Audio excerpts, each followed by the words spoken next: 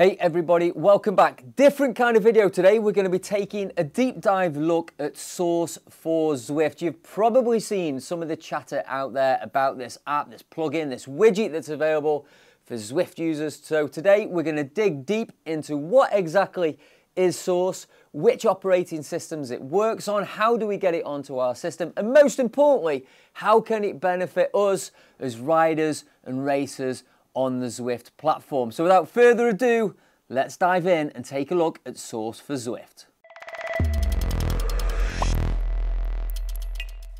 All right, so Sauce for Zwift, it's an add-on, it's a plugin, and I've left all the links down in the description below if you wanna go and take a closer look after this video.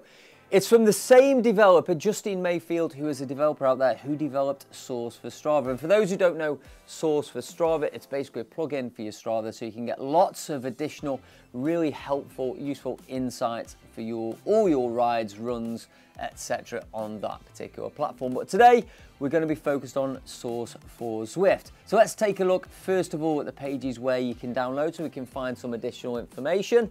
So Sauce for Zwift, it's basically a collection of add-ons and you can utilize it to overlay your Zwift racing screen. And again, you can overlay this on top of the existing screen, but most importantly as I do, I remove the HUD and replace the fields that we typically see, which let's face it, are a little bit clunky in Zwift itself to give you some really insightful information and information you've probably not seen before. So when you go and download Sauce for Zwift, just two things to consider really. First of all, if you want the full suite of gauges and add-ons, there is a subscription and that's just through the Patreon there for Sauce for Zwift. The good news is if you do that, you will also access Sauce for Strava if you haven't got that already and vice versa, if you've already got Sauce for Strava, I guess you could probably get Sauce for Zwift also.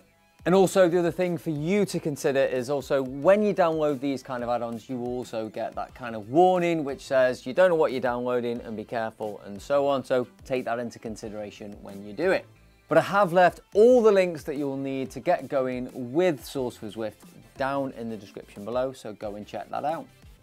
All right, so Justin has highlighted some of the key features in Sauce on this opening page. So first of all, we've got the draft percentage, anywhere between zero, I've seen up to 200%, basically telling you how efficient you are in the draft any particular time. You've got group sizes, riders nearby, you've got time gaps also with groups or riders ahead or behind. You've got real life stats, so average and max power, heart rate, cadence, rolling averages as well for five second, five minute. Basically, infinite number of choices you've got here from five seconds up to two hour time gaps looking at the averages of what the riders have put out. Peak values also included there, normalized power, TSS, We've also got the, the kilojoules value there as well, which is basically what we call the W prime or the W balance there, and we'll go into that in a little bit more detail a bit further on.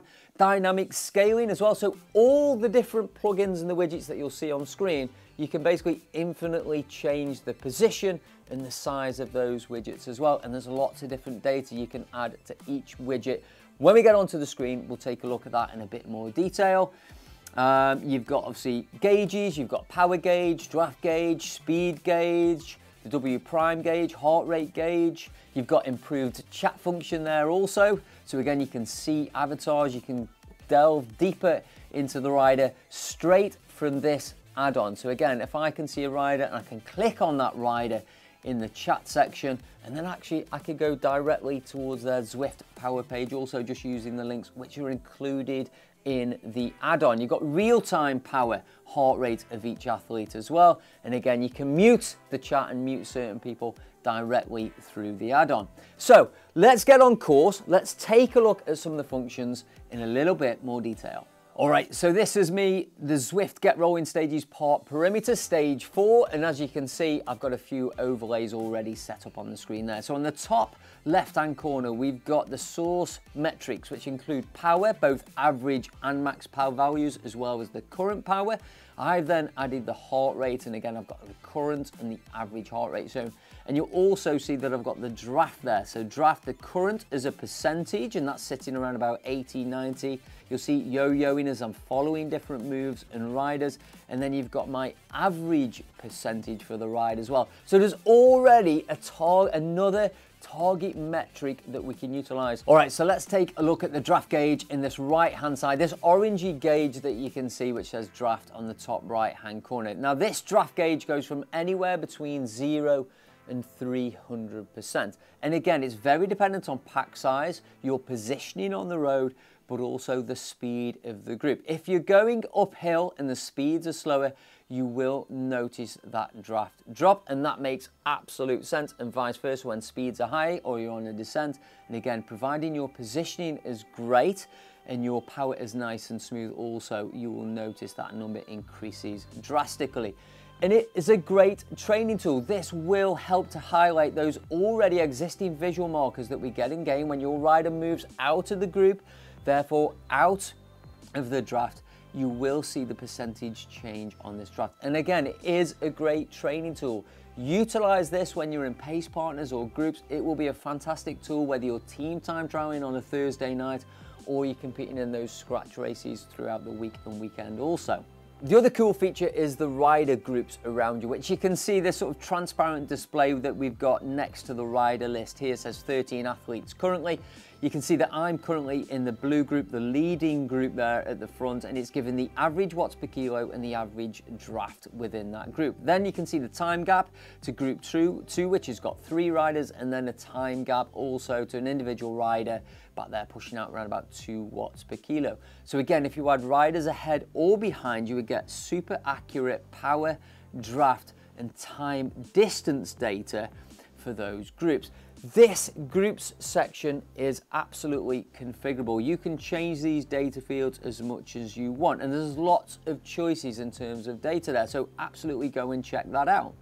Here's a really another interesting add-on that you can utilize again with Sauce, which is the nearby athletes. So this is me with a pace partner rider here. So you can see a group of athletes names, any time gaps if they were there the current power, watts per kilo, the average power, normalized power, speed, average speed, heart rate, average heart rate, power maximum, five minute maximum. You can set these maximums and these data values again. There's lots and lots to choose from here. And it's customizable in terms of size as well. So I can tweak this to fit wherever I want, or maybe I'm running a second screen, or I can just overlay with the Zwift nearby riders that you can see on the right hand screen as there.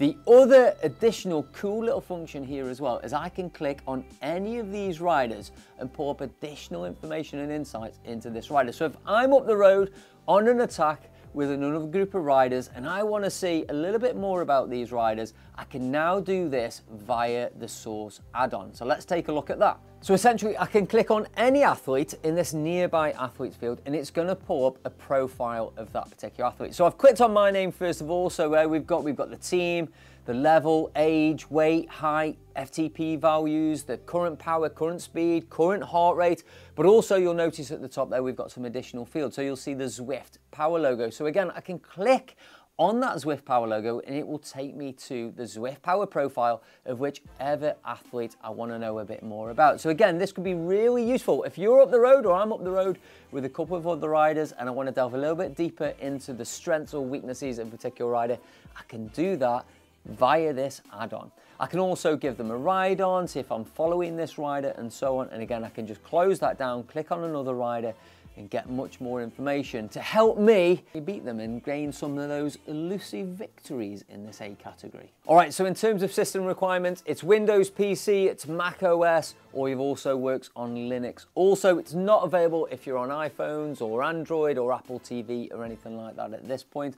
What do I think of the app? I think it's a fantastic tool whether you're training and racing. I love the ease of being able to get a little bit more information on the riders around me when I'm racing and also it's a really great training tool and racing tool in terms of the draft just to make sure that we're saving and conserving energy wherever possible if that is our plan in the race.